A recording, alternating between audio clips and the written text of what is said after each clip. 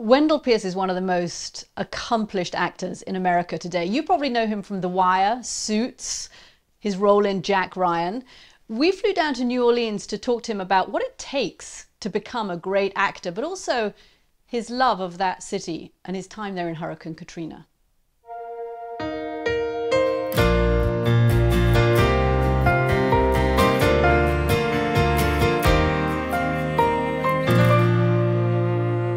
Wendell, it's so good to see you. So good to see you. Welcome It's to New been- Orleans. Thank you. Thank you for Thank having me to your hometown. Oh, thank Last you. time we met was in LA. I'm much happier that we're meeting here. Uh, yes, I know it's beautiful. You suggested the World War II Museum. Yeah, I suggested it because uh, my, my dad fought in Saipan during World War II, and uh, it really uh, made an impact on me. Yeah. You know, he, he would talk about it briefly, and then he went through some things, uh, some challenges afterwards. Uh, it showed you how to deal with uh, adversity, and so it taught me a lot. And so I like to come here as it expands. Uh, it really shows the sacrifices that people made, that the country made. Uh, it really shows you how to sturdy your character. It's an incredible uh, museum. Look at this amazing Yeah. design. It's a cool Great building. architectural design. Very cool.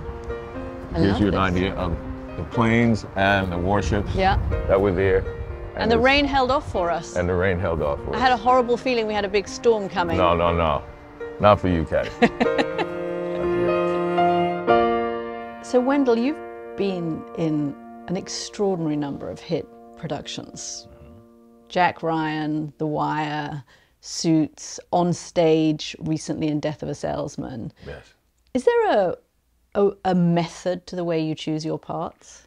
Um, good writing.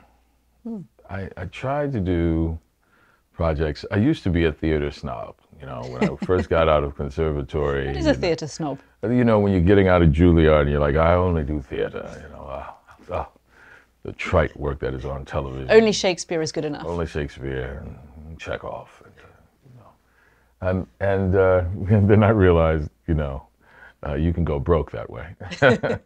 but no, I started to realize the thing that uh, the common denominator is really good writing.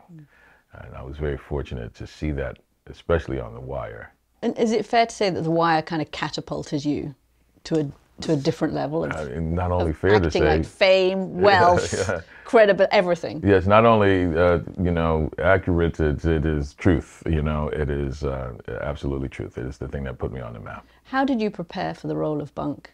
I actually met the real Bunk, right? Oscar Requer, who was uh, who was a detective in the homicide division, and um, I he at the time was working the courts. You know, he was near uh, the end of his career, and uh, he was taking me around. Uh, introducing me to all the uh, other officers, talking about cases and talking about uh, police work. Um, then I met some officers of the Western District in uh, Baltimore, and I did ride-alongs uh, watched interrogations uh, or interviews. I shouldn't say interrogations; they would be on me about that. Uh, and I noticed uh, that they were students of human behavior, like actors. You know, The cops. the were- cops themselves. Yes. Didn't you even take part in an interview? I Uh, think I'm not allowed to call it an interrogation. in an interview uh, it was an interview. once? He said, uh, I'm not sure how. I'm not sure how legit that is. it, by the it way, wasn't. It wasn't drag legit, you and have know, you play a uh, police officer. And I won't. I won't ever say anything about the officer that did it. Yes, uh, I was on a ride along. I was on a ride along, and uh, we went to actually interview someone who had been robbed, and they went to get information on, you know, uh, who, you know, what, where, how, who, any, you know, distinguishing marks on the person or their clothing, whatever. And then they turned to me. I was just sitting there, um, and they said, uh, "Officer Pierce, do you have any questions?" And I was like, uh, "What did he look like? You know, who was he?" I, went, I was like, "You can't do that." He said, "No, I wanted you to get the feeling, you know." That's role play. That is that is method acting. Uh, That was method acting. You said something a minute ago, which is that cops are students of human nature, Yeah. And actors are too. Yes. How are you? How are you studying human nature every day to bring what you observe in people into your roles? Well, What, what does that um, mean for you? Well, it's not. It's not as if I'm going around watching people uh, astutely all the time. When you study a script, no one has to tell you how to feel when you lose a parent. Um, when you study a script and you realize that uh, Cordelia watches her King Lear die, you have to create that world in your heart, in your mind, and in your spirit so strong that it induces the behavior of acting. So everything that you feel comes to that moment Yes. and allows for that moment of acting. And if the moment isn't there, you haven't done enough work yet. Right? There's moments in the play or in the film um, where you have to, where, where you're in love with someone. You know, you start with the circumstances of the, the story and the script, but then you start just looking at the other actor. You know, uh, she laughs funny. I love that about her. You know, um, she has uh, she she has this beautiful way of you know closing her eyes and relaxing. You know, um, In that moment, do you, Wendell Pierce, almost really feel you love the other actor? yeah, that's why it's always dangerous. you know, I, I try to I try to go there. You know, I, I you know I always find something, especially if we have a loving relationship. I will I'm always find something and uh, the other woman, or I've been in situations, or the, the man, uh, that you find loving, that you would find attractive in them. You know, it's if if if you're going to be a student of human behavior, you go for it. You know, you go.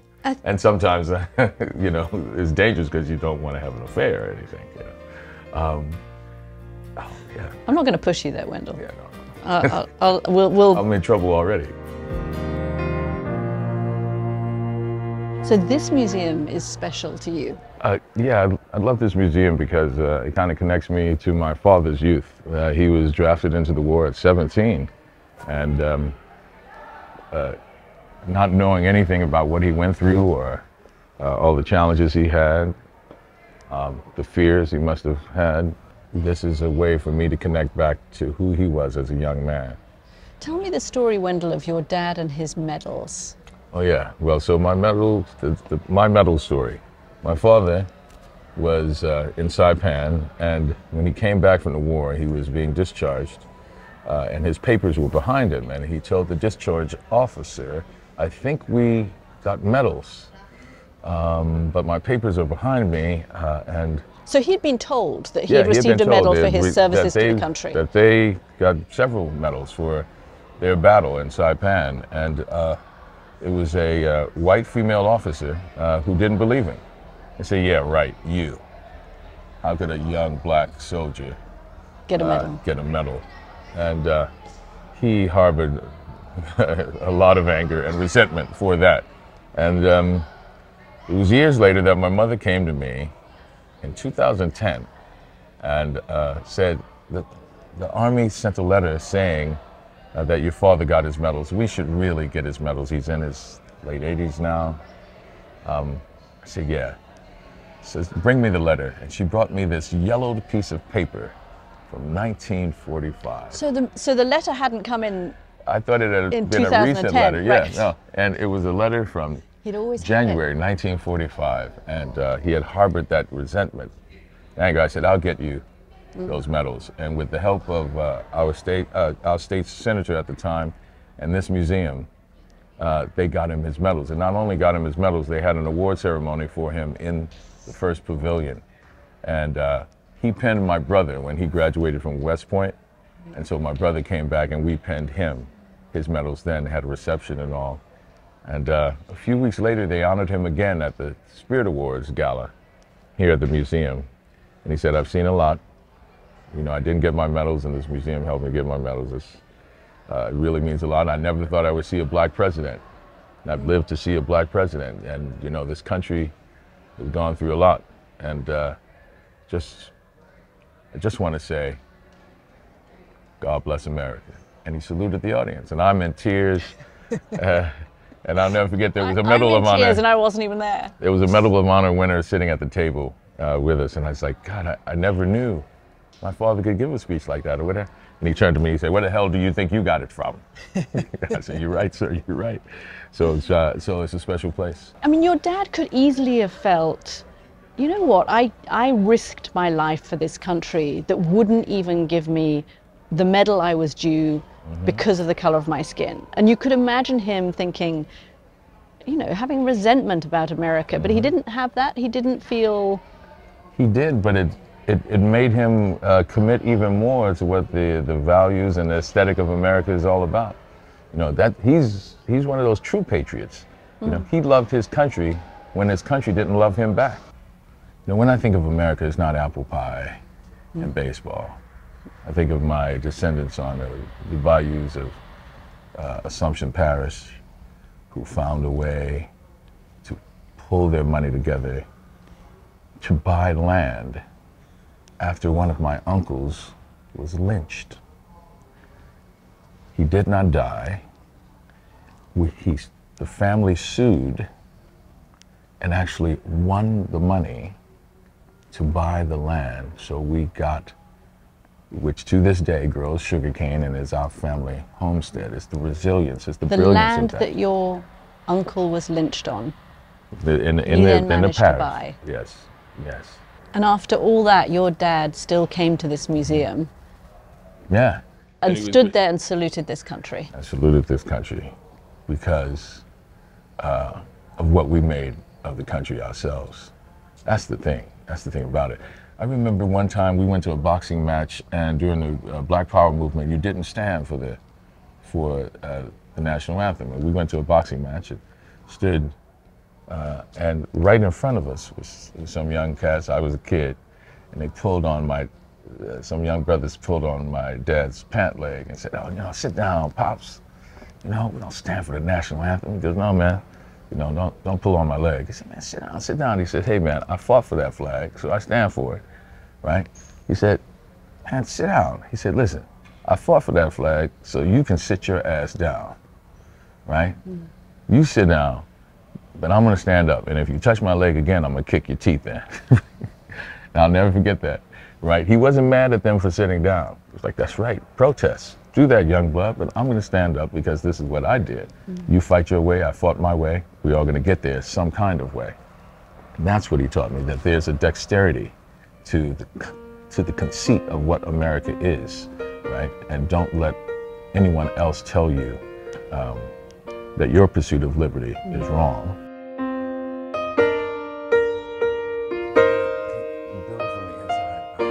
When you played took the role of Robert Zane in Suits, I can't imagine for a second that you thought you were going to be playing the dad of a future princess of Yeah, right. the royal family of England. How weird was that? I didn't believe it, you know. Like when everybody was aware that uh, Meghan was dating Prince Harry, I was like, man, you guys are making it up, you know. And then one day I showed up on set. We were doing a scene, and uh, she was engaged uh, in the show, and uh, wasn't engaged yet. Uh, and we were in a car, and we were about to get out of the car, and they said, "No, stay in the car, stay in the car."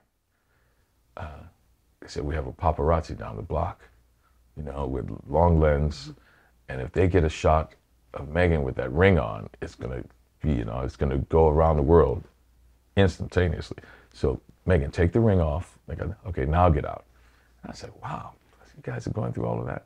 And then when we got out of the car, there was this rock solid secret agent MI5 guy security that took Meghan and whisked her off. He said, I'll take it from here. You know, and I was like, I heard the British accent. I said, oh, oh, it's real. It's the real deal. And uh, they sent security over, and they had they had uh, security, and that's when I knew they were dating. Okay, you've taught acting, right? Uh, yeah, I've tried to. I want to try to learn something. Okay. How do I say New Orleans? Uh, It's the hardest city in America for a you- foreigner to pronounce. If you think of the French rhythm, Orléans, Yeah. we have the French rhythm without the French sound. New Orleans. So that's the way to think of it. New Orleans. I thought So it. think of Orleans. Now, Okay. I knew it uh, wasn't there that is the tourist trap of N'awlins. Nobody down there says N'awlins. But it looks good on a t shirt, right? N apostrophe A W L I N S. N'awlins. I went to N'awlins. Nobody says that. And then there is an unwritten rule of you say New Orleans to rhyme in a song or a poem. Do you know what it means to miss New Orleans and miss her each night and day? And I tell you what's more, when you miss the one you care for, more than you miss New Orleans. Pops, Louis Armstrong. Very So nice. that's the rule. That's your acting lesson for Okay. the day. New, New Orleans. New Orleans. New Orleans. There you go. I have a funny feeling I'd be taken for a tourist anyway if I opened my Yeah. mouth downtown. Um, New Orleans is important to you. Mm-hmm. You grew up here. You were here the night before Katrina hit. In fact, you would have been here with a hangover Yes. when Katrina hit I if your family down. had not persuaded you to leave. I came down for a family vacation. I was uh, meeting family here. I got to the city and there was all the hubbub at the airport. I said, "What's going on?" They said, "The the hurricane." I said, "The one in Florida." They said, "Yeah, coming here." And I'm like, oh, "No." And uh, I went out that Saturday night. You know, and my mother was concerned we should leave. I'm like, "Oh, this we don't have to leave. It's just a hurricane. We've stayed through many." And I gave the ultimatum uh, that, you know, if they call a evacuation, if they call for a mandatory evacuation, which had never happened in the city before, and that's why I thought I could say it. Um, if they call for a mandatory evacuation, we'll leave. The next morning, they called for a mandatory evacuation. It's like my mother called my bluff, really. She said, We're leaving. I had gone out that Saturday night and uh, brought up the Sunday morning sunrise. so I was tired and hungover. And um, we were packing the cars. Uh, my nieces were here, and my sister in law, my mom and dad. And I'm packing the cars. And I'm like, I'll stay, you guys go. We were going out to relatives outside the city. And I said, You go, I'm going to stay. And I went to sleep. I woke up a half an hour later and they were still packing the cars. So I said, okay, I'll leave with you. If you guys are still here, I'll leave. Had I not, I would have been in some of the deepest flooding of the city. My neighborhood of Pontchartrain Park uh, had 20 feet of water and sat in it for two months. Um, we You lost friends. we lost nine neighbors. We went to church that Sunday morning, and the Bynums, they lived around the corner from us, an elderly couple. And uh, my father said, Are "You guys leaving?" I said, "No, we're gonna stay." I said, "No, we're gonna leave." I said, "All right. Well, you know, you guys take care." And that was the last time we saw them. They they found Mr. Miss Bynum in a tree. So the desperation of trying to uh, leave the water, you know, escape the water, she had climbed into a tree, and the tree fell over into the flood. Um, it was so I always think of them, and uh, how I wish, how I wish they had left, you know. Um, and so thankful that we had. I always think that I stayed, maybe I would have gotten around the corner to save them. But uh, may they rest in peace. You brought your parents back to your house eventually, Yes, and it was trashed. it was destroyed. I never forget uh, driving back into the city when we were able to finally get back to our neighborhood. It looked like nuclear winter.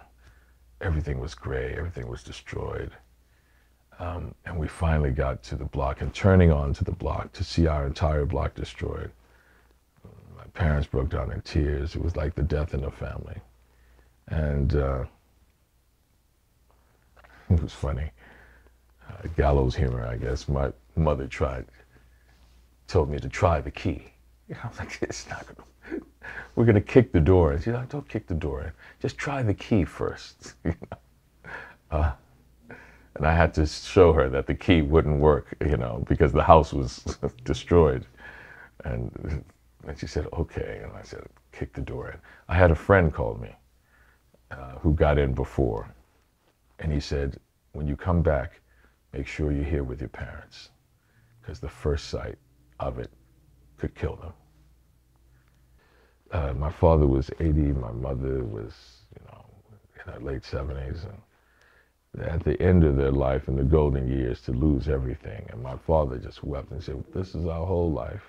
We raised our boys here. We raised our boys here. So I knew my goal was to get them home before they died. So I really worked hard to rebuild the home uh, as fast as possible to get them back. And I did, to the point that they were like one of the few people back in the neighborhood of a thousand homes, maybe just a few people. And then neighbors said, Wendell, you got your parents back, you know. Um, the neighborhood is never going to come back, but you can bring attention to it. You know, we, we have to rebuild. And uh, then I realized that so much had been done to build that neighborhood. It was one of the first black uh, neighborhoods post World War II in a segregated New Orleans who could not come and just buy a home anywhere. Uh, and because of the civil rights movement, this neighborhood was created. My parents, like a Moses generation, had created this sanctuary. And I knew that I had a responsibility as this part of their Joshua generation to rebuild it. And so I put together a, uh, I put together an effort of residents, and we rebuilt our neighborhood brick by brick, house by house, block by block until we returned. And now we are on the Register of Historic Places, on the National Register of Historic Places, Pontchartrain Park. Thank you. That was great, Wendell. Thank you very much. Thank you.